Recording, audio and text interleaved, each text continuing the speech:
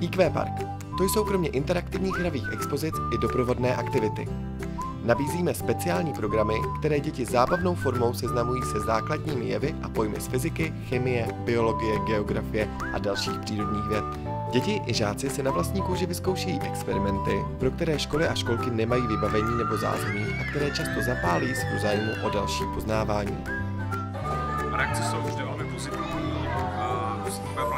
nikde nechce odcházet, vždy o tom dlouze mluví a i rodiče vlastně pak motivují k tomu, aby sem, navští, aby sem přišli a navštívili IQ Park. Tématické science show pro školy a školky v IQ Parku probíhají formou frontální demonstrace s častým zapojováním dětí do jednotlivých experimentů.